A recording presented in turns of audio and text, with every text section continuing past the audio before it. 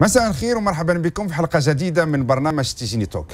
في إطار الذكرى الخمسينية الوفاة مرحوم السيد محمد بن عبد الكريم الخطابي زعيم الثورة الريفية. غادي نخصوا هذه الحلقة باش نتكلموا على الحياة ديالو اللي كانت غنية الحياة ديالو اللي وهبها من أجل المقاومة ومن أجل النضال ضد الاستعمار خاصة الإسباني. وفي هذه الحلقة غادي نتكلموا على خبايا الأمور وغادي نحاولوا نخرجوا من الخطاب الرسمي. العلاقة ديال السي محمد بن عبد الكريم الخطابي مع إسبانيا اللي في الأول كانت علاقة طيبة ومن بعد توترت وتحولت إلى علاقة ديال المقاومة ديال الاستعمار الإسباني آه، بالريف. العلاقة ديالو مع القصر أيضا اللي كانت واحد العلاقة يعني ودية مع المرحوم محمد الخامس وتوترت هذه العلاقة بعد ما جاء الراحل آه، الحسن الثاني. العلاقة اللي كانت عند المرحوم محمد بن عبد الكريم الخطابي مع الأحزاب الوطنية وحركة التحرير المغربية وجيش التحرير اللي يعني كانت واحد العلاقة ديال التنسيق واحد العلاقة ديال المساندة واحد العلاقة طيبة بصفة عامة. ومن بعد توترت من بعد الاستقلال. هذه العلاقة خاصة مع حزب الاستقلال يعني مجموعة ديال المواضيع غادي نحاولوا نناقشوها مع ضيف الحلقة السيد سعيد الفر ناشط جمعوي وفاعل في ميدان حقوق الإنسان. سي سعيد الفر السلام عليكم. عليكم السلام. سي سعيد المرحوم محمد بن عبد الكريم الخطابي كما كتعلموا يعني كانت عنده مجموعة ديال الألقاب. زعيم الثوره الريفية آه، رئيس الجمهوريه الريفية الأمير المغربي إلى آخره مجموعة ديال كيفاش كتفسروا يعني هاد هاد الألقاب قبل ما ندخلوا لصلب الموضوع؟ أه قبل قبل ما نجاوب على هذا السؤال أه نترحم على روح هذا المقاوم العظيم كما نترحم على جميع شهداء المقاومة المغربية على العموم وشهداء المقاومة ديال الريف تقدر تدخل على الخصوص. على الخصوص. كنتكلموا في الموضوع على الخصوص ديال نعم. الثوره الريفيه محمد عبد الكريم الخطابي نال مجموعة من الألقاب.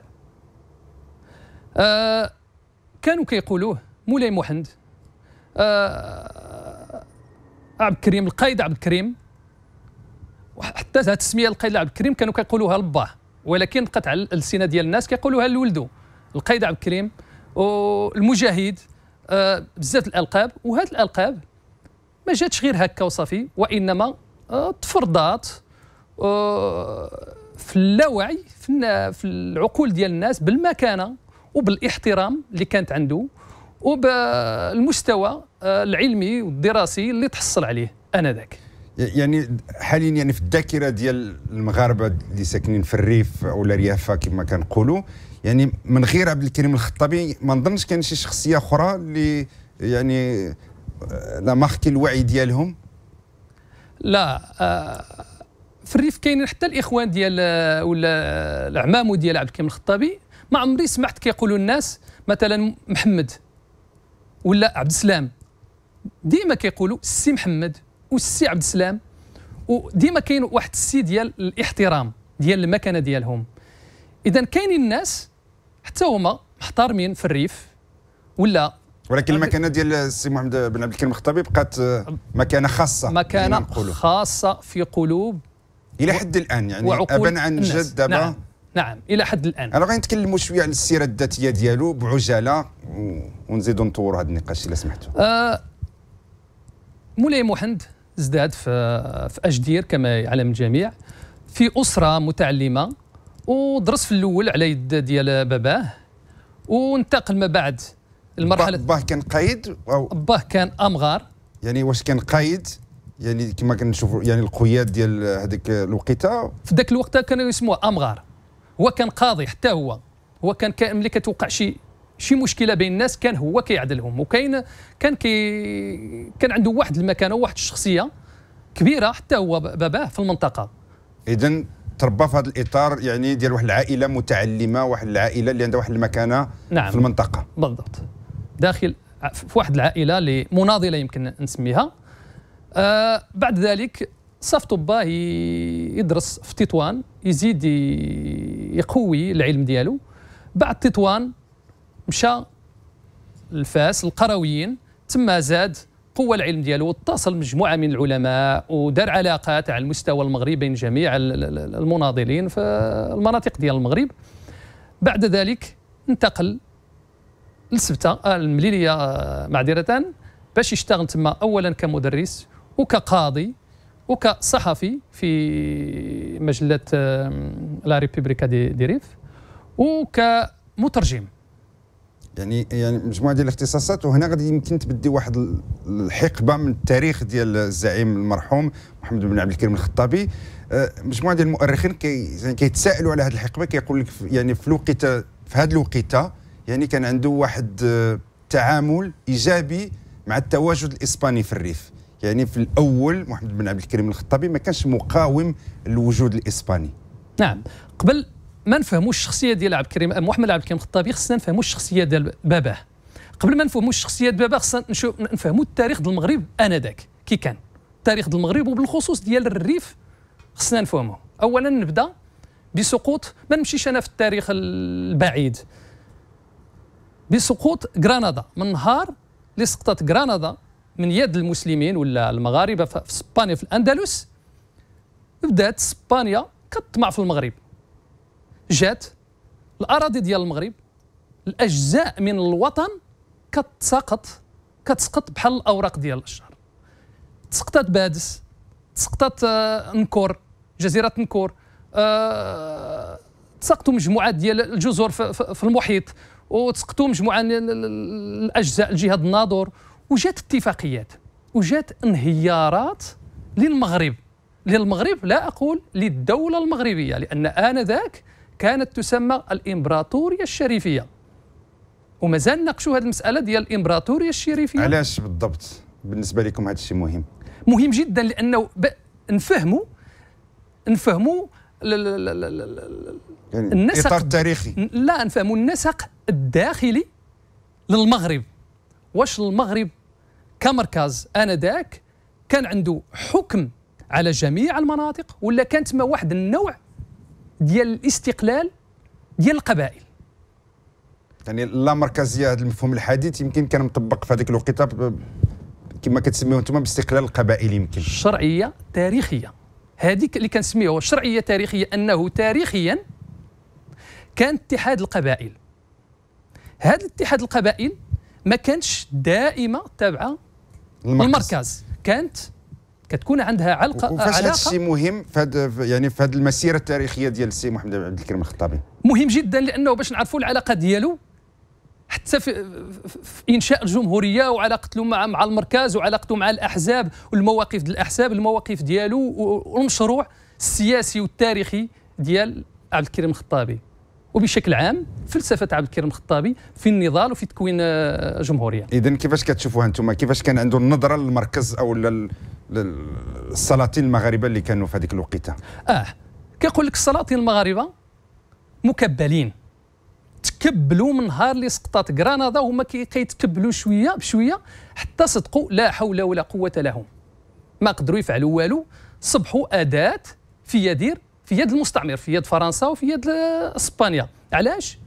الإنزالات اللي عملها المخزن على الشمال المغرب على بقيوة على الحسيمة مرتين على الناظور لتنفيذ أوامر من إسبانيا. اذا هذه الحكومة المركز كانت تنفذ أوامر إسبانيا لا حول ولا قوة لها. زائد على المستوى الاقتصادي آنذاك الاقتصاد الاقتصاد المغرب كان مكبل. كما كان مكبل سياسيا مكبل اقتصاديا. علاش؟ لأن مجموعة من القروض بريطانيا 800 ألف جنيه استرليني. إذا كان واحد الوضع نقولوا يعني سياسي آه، متأزم في هذيك الوقيتة ويعني وكان هذا الشيء عادي لأن هذا الشيء وقع مور المؤتمر ديال الجزيره الخضراء. يعني نعم. المغرب كانت عنده التزامات أو لا تفرضت عليه التزامات آه، مع المستعمر آنذاك الفرنسي في مجموعة ديال المناطق في المغرب وإسبانيا في الشمال. هذه مسألة فيها نقاش تفرضت ولا قبل ولا ماشي في المستوى هذا نقاش. آخر. هذا نقاش آخر. دابا السي محمد بن عبد الكريم الخطابي مشى المليليه وزاد تماك يعني اشتغل زاد درس في الأول واشتغل. يعني وكانت عنده واحد القابلية للتجاوب مع الثقافة ومع الدولة الإسبانية. نعم. هو كان كيقول في الأول كل ما تزاد اتصالاتي احتكاكي مع الإسبان إلا وكنكرههم علاش؟ لأن الأطماع ديالهم ماشي الأطماع ديال نقل الحضارة للمغرب ولا شمال المغرب وإنما أطماع استعمارية واستغلال للشعوب. هذا اللي بقات فيه هو. كيقول لك أودي هذا الاستعمار هذا الا بغى كما قال الا بغى الشمال المغرب نطوروا ونجهزوه. يتطور على المستوى عصري مرحبا به. ولكن بدون استعمار. وهنا ملي كانت الجرائد واحد الجريدة اللي كانت ناطقة في, في, في, الجهة الفرنسية بالعربية وكتدافع على الفرنسيين هو كان في إسبانيا في الجريدة اللي كيقولوا كان كيهاجم هاد الناس كي كان كيهاجمهم كيدافع على إسبانيا وكيهاجم هاد الناس اللي كيدافعوا على فرنسا. كيف؟ هو حليف. هذا هو السؤال هذا هو السؤال اللي كيقول لك واش هو حليف؟ كان حليف ديال إسبانيا في الأول كانت عنده علاقة مع الجيش الإسباني وكاين اللي كيقول لك كاع كان مترجم ديال المخابرات الإسبانية إلى آخره. هو ب... بالذكاء ديالو يمكن نقول لك جا قبل العصر ديالو. هذه الشخصية التاريخية الفذة ديال محمد بن عبد الحكيم الخطابي جا قبل الزمان ديالو. كان فاهم الأمور من اي ناحية من أي ناحية. من ناحية. هو كيقول لك كما كنقول المثل الشعبي نوصلوا الشفار حتى باب دارو. هاد الإسبان كيجيو جاو باتفاقيات مع الدولة المركزية وكيجيو كيستغلونا هنايا. كيديو الحديد كيديو كيقمعوا لنا الناس هنايا كيدخلوا في الريف كيديروا اللي بغاو بغاو يستعمروا. حنايا نقولوا لهم كفى. كفى بغيتوا نمشيو لقدام. مرحبا بكم. ما بغيتوش. ولكن شمن النقطة اللي فاتت هذا الشيء هذا هو السؤال اللي فين, فين بانت المواقف الصحيحه ولا المواقف المبدئية على الوطنية ديال محمد عبد الكريم الخطابي في التصريح ديالو في الحسيمة ملي جا الحسيمة 1916 1916 وكان كان تسجن من قبل عام من قبل كان تسجن في 1915 1915 اللي جا الحسيمة. دار واحد التصريح تسمع مع الممثل ديال إسبانيا في الحسيمة. قال لهم هاد المسا... هاد أنا كنفضل كنتمنى تنتصر ألمانيا وتسقط فرنسا. وقال لهم وحذرهم أن هذا الشيء اللي كنشوفوه ديال التقدم ديال الجيوش ديالكم في الشمال في, في الأراضي المغربية في, في الوطن ما نقبلوش. وتعمل بمنطق عدو العدو صديق. آه بهذا الموقف هذا هذا الموقف ديالو تسجن. بعد آه، السجن دار المحاولة ديال الهروب تشد ولكن في الثاني 1916 أطلق سراحه ملي طلقوه عاد يعلن على المواقف ديالو صحيحة. تجاه الإسبان. جا لباباه مع باباه في ذاك الوقت 1916 آه، بداو كيمشيو للسوق كيديروا البراح كيهضروا مع الناس يحاولوا ذاك الحقد اللي كاين بين آه، القبائل وبين العائلات يقضيو عليه يوعيوا الناس حتى تشكلت واحد الوعي لا, لا أقول وعي جنيني عند الريفيين وإنما الوعي الجنيني للدفاع عن الوطن ولا المقاومة كان تما من قبل. كان. لأن وعلاش توحدوا يعني على الشخص أو على العائلة ديال عبد الكريم الخطابي؟ إن هذا هو الآخر سميت. يعني أنا نظن ما كانش هو القاضي الوحيد بابا كما كتقولوا ما كانش هو القاضي الوحيد في المنطقة ديال الريف. ولكن علاش العائلة ديال عبد الكريم الخطابي كان عندها هذا الصوت وهذه القابلية إنها توحد القبائل حولها؟ نعم. نعم. هو ما توحدوا على محمد عبد الكريم الخطابي كانوا توحدوا مع باباه في الأول. وباباه مشى لتفرسيت. بابا كما كتعرفوا مات في تفرسيت. في 1920 مات في تفرسيت. نهار اللي مات باباه هما القبائل وبالخصوص قبيلة بني ورياغل بيعات ولدو محمد عبد الكريم الخطابي باش هو اللي ياخذ زمام الأمور في المقاومة والجهاد ضد المستعمر. وأول ما قام به كما قلت هو التوعية ديال الناس و... وداك البغائض اللي كاين بين بين القبائل والعائلات قضى عليها ودار الاجتماع في, في مزورن مع امغارا مع قواد القبائل ومشايخ القبائل و...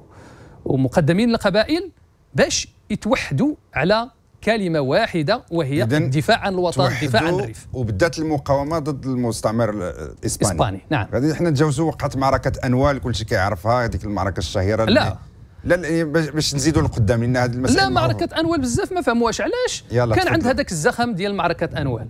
علاش؟ منين جاو ذاك ذاك المقاومين المقاوم المقاومين في مرة ويديروا في ما, ما ماشي هي. انتصروا على واحد العدد كبير من الجيش الإسباني. نعم. هو محمد عبد الكريم الخطابي نقل القيادة ديالو من قبيلة بني ورياغل الجبل قام في تمسامان لأن كان تقدم ديال الاسبان وصل تما قبل جبل القامة وتما أول معركة دارها ما كانوش بزاف بهم كان المعركة الأولى كسب في ربحها معركة آه، الظهر الظهر وباران. وملي ربح هذه المعركة هذه كسبوها المجاهدين زادوا القبائل بايعوا توحدوا توحدوا وملي كسبوا ملي انتصروا في المعركة أنوال وزادوا في الأول كانوا غير تمس... بنت قبيلة بني ورياغل وتمسامان وبنو توزين.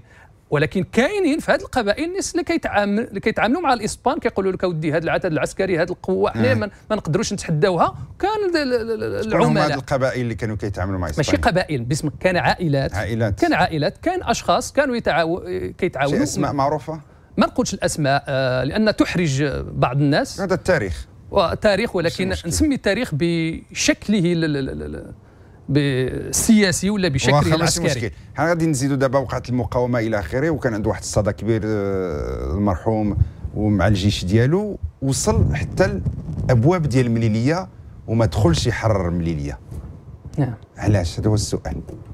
نطرحوا واحد السؤال آخر باش نفهموا هذا السؤال باش نجاوبوا عليه. تفضل ما عمرك فكرتي علاش محمد عبد الحكيم الخطابي ولا باه ما كانش ما شد حتى شي مدينة. المدن كمدينة ما عمرو مشى حرر شي مدينة مازال. علاش؟ تطوان ولا ما حررهاش. واش كان هذوك المدن محصنين لا. من طرف الجيش الإسباني؟ لا. هنا اختلف مجموعه اختلفوا مجموعة من اختلفوا الفقهاء. الفقهاء كما كيقولوا. شي واحد كيقول لك اودي هو قالها قال لك اودي ما ندمتش علاش ما دخلتش المليلية؟ لأن كنعرف الجيش ديالي في ذاك الوقت كان غيقتلوا المدنيين.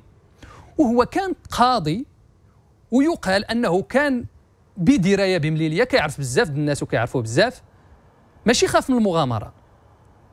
باش يربح المعركة. خاف من بعد المعركة اولا باش ما يموتوش المدنيين حفاظا على أرواح المدنيين. وثانيا خاف من فرنسا وباقي الدول الأوروبية اللي ممكن تجمع تجتمع وتهجم عليه وتقضي عليه. هذا الشيء اللي وقع من بعد. ما تعتبروش الشيخ هذا كان من أول الأخطاء ديال السي محمد الكريم الخطابي أنه ما دخلش للمدن وما حررش مليليه ودابا كندفعوا الثمن بين قوسين. نعم. هو أو لا بالنسبة لكم أنتم السي محمد كيكون لا يعني لا. ما, ما ممكنش يرتكب أخطاء. استراتيجية الحربية والسياسية لا كان الرأي ديالكم نعم نعم, نعم الراي ديالي. Oui. ديال محمد عبد الكريم الخطابي ماشي استراتيجي ماشي هو ماشي مغامر. هو الشخصية كل مسألة كتمشي بالحسابات. ملي قال الإسبان ملي قال الإسبان. نديروا معاهدة. في هذه المعاهدة هذه نخليو لكم بلايص فين نتوما ولكن ما تزيدوا حتى قدم في الأرض الجديدة ديال المغرب. الأرض محرره آه أرض محررة. بقاو مثلا بقاو في مليليه وبقاو في سبتة ولكن قدم لا. هذه استراتيجية. واش ك... واش هذا هو المبدا ديالو الوطني؟ لا أظن. هو كان مازال كيكون النواه كيكون الجيش كي... كيجمع القبائل كيقوي كيجمع السلاح. نقولوا الظروف التاريخية نعم. ديال هذيك الوقيتة هي اللي فرضت عليه هذه الاستراتيجية. ماشي خ... أنا برأيي الشخصي ماشي خطأ وإنما كان ذكاء لرجل سياسي وعسكري استراتيجي. هو أول واحد اللي كيقولوا عليه اللي اخترع ما يسمى بحرب العصابات أو إطار المقاومة. نعم. واستفدوا منه يعني حتى طوار آخرين مثلا هو شيمين زعيم الفيتنامي ماو تسي تونغ في الصين شي جيفارا معروف. أنا شخصيا وكل الناس الشخصيه آه، الناس الشرفاء تتأسف. كيقول لك كيفاش هاد المقاوم هذا الرجل الوطني اللي دافع عن الوطن وقدم ما نعرف شحال الشهداء وقدم حياته للوطن وما اعترفوش ما اعترفوش به. شكون هما اللي ما اعترفوش به؟ واعترفوش اعترفوه برا. هو كان عنده وزن خارجي. هو خلط الأوراق ديال العدو خلط الأوراق ديال فرنسا وإسبانيا في جميع المستعمرات ديالها. واعترفوا جميع اعترفوا به. كشخصية وازنة وراجل اللي اختار حرب العصابات الراجل اللي كيبدأ من الصفر على المستوى العتاد العسكري ولكن من القوة على المستوى الاستراتيجي باش يوصل وشنو هي القوة ديالو ما كانش عنده في الأول عتاد عسكري شنو هو القوة ديالو اللي سمحت له أنه هو والأب ديالو ولا هو العائلة ديالو يوحدوا القبائل ويقنعوهم أنهم يقاوموا واحد الجيش كبير وقوي بلا. شيء خصك تعرف أنه كان بدراية بأسرار إسبانيا. الأسرار المخابراتيه والأسرار العسكرية. كانت عنده علاقات مع المخابرات لا الإسبانية. كان مترجم كان المترجم للعسكر ديال إسبانيا في مليلية وكيعرف الخبايا ديال هاد الناس. وما نساوش خوتو كانوا كيدرسوا في إسبانيا.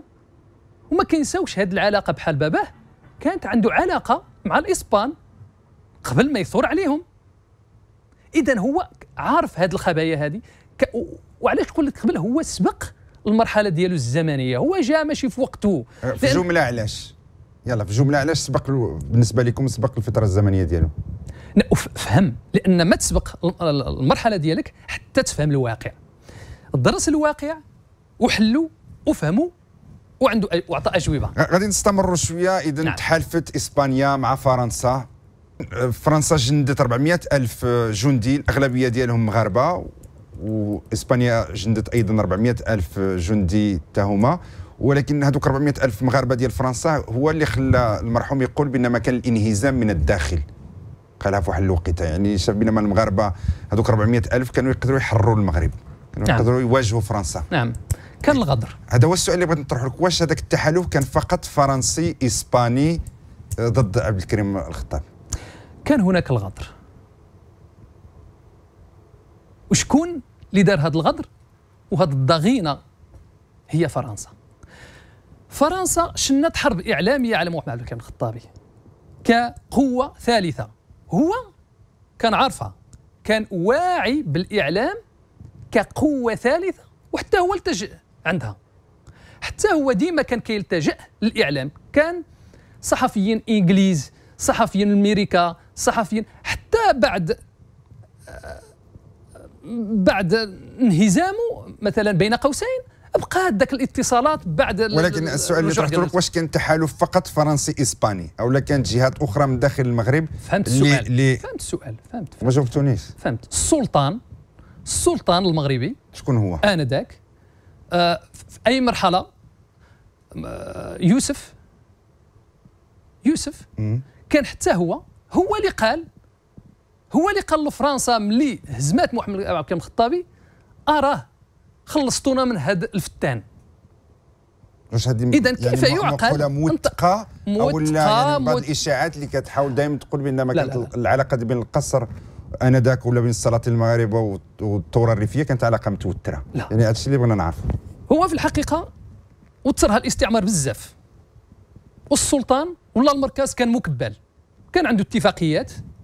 ما عنده ما يدير لا حول ولا قوة كما قلت قبل. ما عنده ما يدير عندي الاتفاقيات وكينفذ الأوامر ديال المستعمر. محمد محمد عبد الكريم الخطابي كان عنده مشروع سياسي آخر. الحق في الحرية الحق في الدفاع عن الوطن الحق في العداله الاجتماعية الحق في طرد المستعمر. كل شيء هذا الشيء في إطار الجمهورية الريفية اللي, اللي نشأها. نتكلموا عليها شوية. إلا بغيتوا يعني دونك خلق الجمهوريه الريفية واش ما كتشوفش بان ما بدا هو كيساهم أو لا كان غادي يساهم في تقسيم المغرب آنذاك وكان كيخدم ضد الوحدة ديال الوطن. أو اذا كيخدم المصالح ديال فرنسا. خويا نقول لك واحد الحاجة. ملي تشوف واحد اللي كيقول لك كنمثلك في الوطن وهو ضدك. واش تصفق ليه؟ ولا تدافع على الوطن؟ ولكن أنتم عاد كتقولوا بأن هذيك يعني ظرفية تاريخية معينة استعمار المركز مكبل يعني ولكن الشعب لم يتفق لم ي... ماشي الشعب اللي دار الاتفاقيه اللي سنى الاتفاقية. السلطان اللي سنى الاتفاقية. إذا مال الشعب الشعب يدافع على بلاده يدافع على الأرض ديالو. الاتفاقية في إطار ظروف تاريخية معينة يعني ضعف الدولة المغربية تفرضت عليها على داك الشيء قلت لك قبيلة الضعف واش كانت ضعيفة ولا ساهمت في الضعف منين هذا الضعف. اذا؟ إنشاء الجمهورية الريفية بالنسبة لكم يعني قراءتكم واش كانت شيء يعني إيجابي أو لا؟ نعم. كانت يعني بداية للطموحات ديال أو لا خلق واحد الفكر نقدروا نقولوا يعني انفصالي مثلا. نعم. اللي كاينة حتى الآن مثلا. الجمهورية الريفية آه، استغلوها الف- الفرنسيين باش يجندوا هاد 400 ألف اللي هضرتي عليه ضد عبد الكريم الخطابي. استغلوها اعلاميا. هو عبد الكريم الخطابي قالها الجريدة مصرية بعد في الوقت اللي كان في مصر. قال لك ما عمري كانت عندي شي أطماع في العرش ولكن فرنسا قالت للسلطان هذا السيد هذا بغى ياخذ منك العرش. يمكن ما كانش عنده أطماع في العرش ولكن كانت عنده أطماع في الأرض. كان باغي ياخذ يعني الريف هو ويفصلوا على باقي المغرب. هو وطني لا يؤمن بالحلول الترقيعية ولا أنصاف الحلول. اذا علاش بالنسبة لكم مثلا شا الجمهورية الريفية؟ من ما كانش عنده أطماع الجمهوريه الريفية جاءت لظروف سياسية كان في ذاك الوقت لابد منها. لابد. علاش؟ باش تكون عنده هو يزيد يناضل يمشي للقدام في الدفاع عن الوطن خص تكون عنده الشرعية التاريخية والسياسية والعسكرية. هاد الشرعية. الشرعية التاريخية قال لك أودي هاد الجمهورية دارها من اتحاد القبائل الريفية. وهذه اتحاد القبائل أعطاها الصفة الشرعية والديمقراطية. أول من دار الجمعية الوطنية محمد عبد الكريم الخطابي. أول من نادى بدولة المؤسسات هو عبد الكريم الخطابي. أول من قال بالمساواة الاجتماعيه وعبد الكريم الخطابي. إذا دولة ديمقراطية عصرية نادى بها. علاش؟ علاش؟ باش يخلق الجو السياسي لا على المستوى الداخلي وعلى المستوى الخارجي. بالنسبة لكم كنت هذيك الجمهورية كانت غادي تطور الجمهورية المغربية. باش يحرر المغرب وماشي غير المغرب. هو كيقول لك خصنا نحرروا جميع أجزاء المغرب. شنو شنو كانت عنده العلاقة مع مع مع مع, مع العرش ولا مع القصر آنذاك؟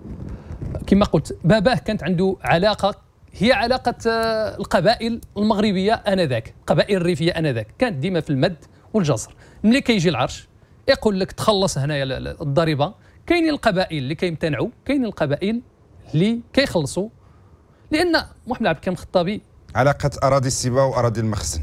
هنا هنا غادي نمشيو يعني من بعد من تعتقل وتنفى في في جزر لا ريونيون من بعد كانت السلطات الفرنسية الاستعماريه غادي تاخذوا لفرنسا وداز على مصر وبقى في مصر بقى في القاهرة واستقبلوا الملك فاروق أنذاك قال لك أحسن أحسن الاستعمال أحسن استقباله وزعما وهدى له قصر ولكن ما بغاش يسكن في القصر. إلى المهم كانت عنده واحد الوجود في القاهرة واحد وتما عاود الصيت ديالو زاد داع. انطلاقا من القاهرة والصحف كيكتبوا عليه والقوى الوطنيه آنذاك كل شيء كانت رحبت منه. كانوا كيسميوه الأمير المغربي. وفي هذيك الوقيتة يعني وقع واحد اللقاء بين المرحوم محمد الخامس والمرحوم محمد بن بالضبط كان. 1960 اذا العلاقة ما كانتش متوترة كما كنا كنقولوا في الأول. محمد الخامس مشى عنده واستقبلوا وكما يقال. أنا كنشوفوا الصور شفنا الصور ديال الملك فاروق مع محمد بن عبد الكريم الخطابي. كنشوف أنا الصور ديال اللقاء اللي كان عنده مع محمد الخامس آنذاك. يعني كانت علاقات ودية. مع محمد الخامس كان هو ولا ما كانش حقد إلا بغينا نقولوها محمد عبد الكريم الخطابي ما كان حتى حاقد على شي, شي مغربي. هو كان الحقد ديالو على المستعمر. كيقول لك آفة العصر هو الاستعمار. عدوي هو الاستعمار أينما وجد. ماشي غير في المغرب العدو ديالي في العالم هو الاستعمار. خصنا نقضيو على هذا الافعال على هذا المرض اللي كيستغل الشعوب واللي كياخذ اذا هو ما كانش حاقد على العرش وحتى العرش ما كانش حاقد على محمد بن عبد الكريم الخطابي اللي وقع لقاء وقال لك بانما آه، محمد الخامس كان خصص له هو والعائله ديالو معاشات. يعني نقولوا des pensions de retraite لأن هذه المسألة أنا يمكن نقول لك محمد الخامس في ذاك الظروف مشى عنده رغما عنه لأن كيف يعقل؟ العالم يعترف بهذه الشخصية النادرة والمقاومة. وانت كمغربي كتقول كسلطان وما تعترفش به. كان مرغم يمشي عنده إلا كان كيدير السياسة. وكيدير السياسة ومشى عنده واستقبلوا ولكن ما بعد الاستقبال. شنو وقع يقال ولكن ما عندي حتى شي حاجة قريتها بين قوسين في الكتب أن محمد الخامس اتفق مع محمد الخطابي اتفق معاه باش يرجع المغرب هو قال له ما نرجعش حتى يخرج آخر جندي المستعمر من المغرب نرجع.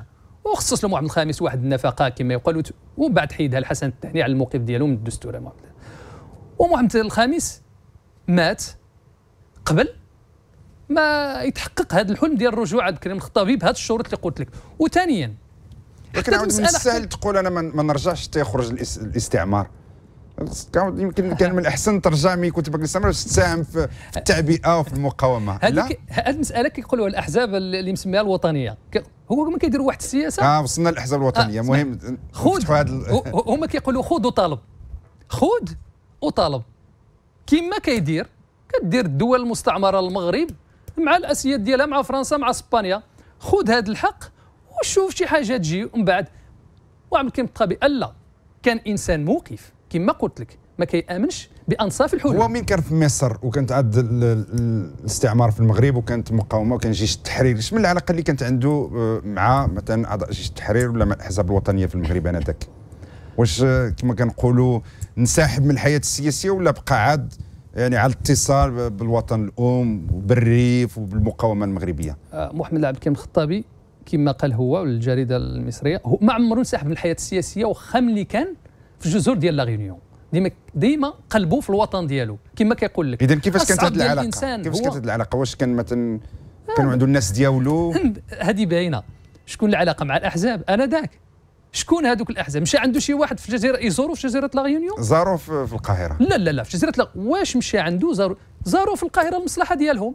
بغاو كما قال زنيبر هذا الشخصية التاريخية نستغلوها. هذا الشيخ الهارم نستغلوه في المصالح نستغلوا الصورة ديالو التاريخ ديالو. السمعة ديالو. السمعة ديالو.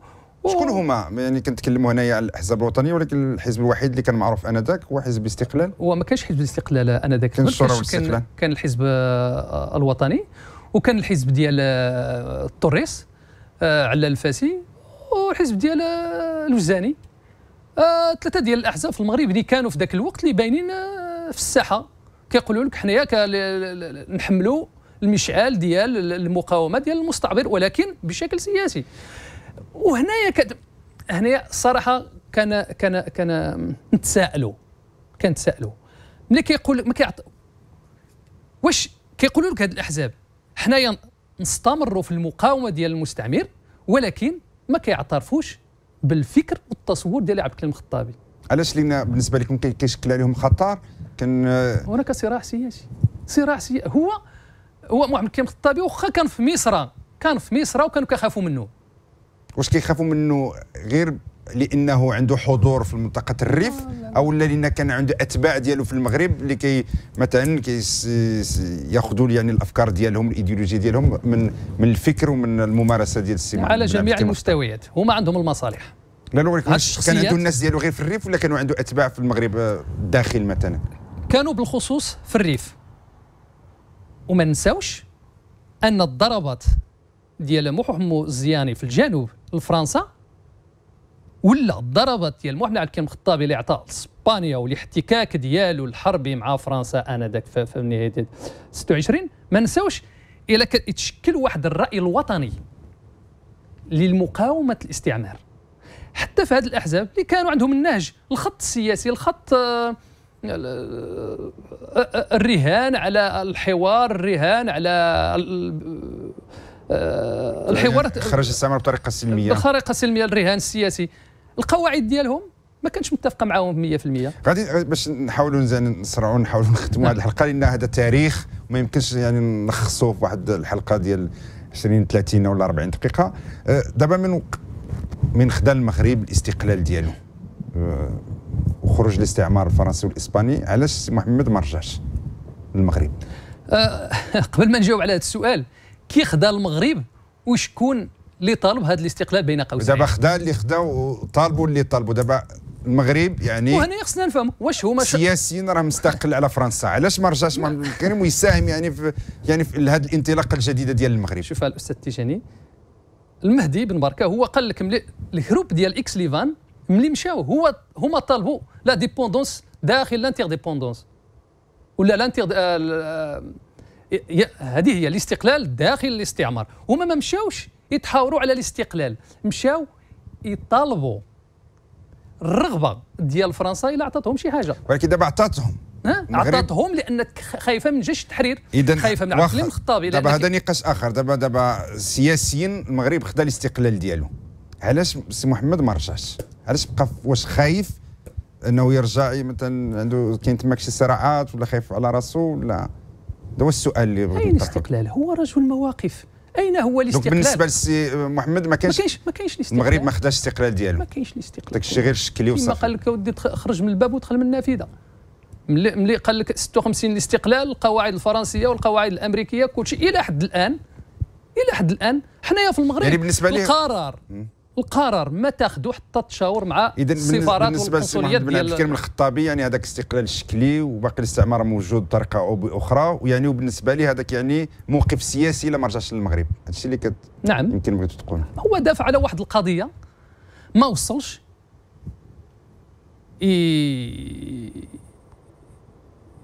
المستوى ديال داك الشيء اللي الأهداف ديالو يحققهم ما وصلش ليه يحقق ذاك الاستقلال التام والكامل. ما تحققش الموقف يعني من بعد رحيل المرحوم محمد الخامس جا الحسن الثاني لسدة الحكم. شنو كان عنده العلاقات اللي كانت عنده مع السي محمد بن عبد الكريم؟ كي كانت؟ آه كما كما قالوا الحسن الثاني كان كيمجد اليوطي على محمد عبد الكريم الخطابي. هو قال لك في كتاب في الكتاب ديالو آه، حياتي ولا سميت ذاك الكتاب ديال الحسن الثاني. حياة الحسن الثاني؟ آه. هو قال لك اودي وترى البلد وتشوف المغرب فيه المدن فيه الموانئ وفيه العمال وفيه هدي وذلك راجع راجع لذاك الرجل اللي دار راية المغرب داها من الخماسيه للسداسيه كيف يعقل رجل وطني ضحى من أجل الوطن؟ ما دمجوه ما اعترفوا به لا في البرامج الدراسية ولا في التاريخ في المغرب ولا وكيعترفوا؟ باليوطي بفرنسا لأن فرنسا كانت سيدة الموقف. الحسن الثاني كان أحسن خادم لفرنسا. علاش؟ لأن هناك عندنا في المغرب اللي كنسميوه المخزن. والمخزن هي تقاطع المصالح بين القصر وبين كبار ديال واخا دونك علاش علاش خداو هذا بالنسبة لك يعني الحسن الثاني آه، يعني كانت عنده موقف يعني عدائي لمحمد بن عبد الكريم الخطابي. دستور. علاش؟ يلا لأن محمد بن عبد الكريم الخطابي رفض الدستور اللي 62 الدستور الأول اللي اقترحه الحسن الثاني. آه هو قال لك يعني وبالنسبه للحسن الثاني كيشوف هذا موقف عدائي كيقول لك يعني هذا أول آه علاقة سياسية مع هذا مع هذا المناضل وكيرفض لي الدستور ديالي. يعني يعني هذا موقف سياسي حتى هو يعني من حقه ياخذ موقف ضد محمد بن عبد الكريم الحسن الثاني الحسن الثاني هو قال بالدستور السياسي وباه محمد الخامس قبل ما يموت في واحد الخطاب في الشمال في طنجة ولا في تطوان هو قر قال لك بالدستور الديمقراطي. أه، فهمنا. هنا هنا نحاولوا بين الأب والابن. كان فرق. كاين مصالح سياسية نحاولوا انه وصلنا لختام هذه الحلقة وتسمح لنا كاين بزاف ما يتقال. هضرتنا يعني هذه المرحلة التاريخية كاملة. دابا حاليا أنتم قلتوا قبيلة يعني في العهود القديمة ما كانوش كيعطوا قيمة لهذا لهذا الزعيم ديال الحركة الوطنية. ما كانوش كيتكلموا عليه في المقررات الدراسية ولا في الإعلام الرسمي. دابا حاليا إحنا في 2013 شنو هي المكانة ديال آه، السي محمد بن عبد الكريم الخطابي؟ يعني في الموقع الرسمي ديال الدولة. الموقع الرسمي ما زال يراوح مكانه. ما زال ما تبدلش إلا في كيزوقوا صافي ما تبدلش. ولكن أنا شخصيا الحمد لله كنشوف الموقف ديال المغاربة طور بزاف وتفهموا وقراو هاد هاد التاريخ ديال الريف وفي المستقبل إن شاء الله يتفرض ماشي يتعطى يتفرض على الموقف الرسمي باش يتبنى تاريخ السياسي ديال محمد عبد الكريم الخطابي والتاريخ العسكري والتاريخ ديال الريف بأكمله. كانت يمكن هذه الكلمة آه، اللي كتختم هذا البرنامج كنشكرك على المشاركة ديالك. وأنا يعني أنا باقي فيها الحل لأن كاين بزاف ما, ما يتقال. يمكن خصو شي حلقة أخرى باش نتكلموا في مواضيع أخرى عندها علاقة بهذه المرحلة التاريخية المهمة من تاريخ المغرب. شي سعيد الفور فاعل جمعوي وناشط مجال حقوق الإنسان. كنشكرك على المشاركة ديالك. وأنا أقول لكم إخوتي أخواتي إلى اللقاء في حلقة أخرى من برنامج ديجي توك إلى ذلك الحين مع السلامة.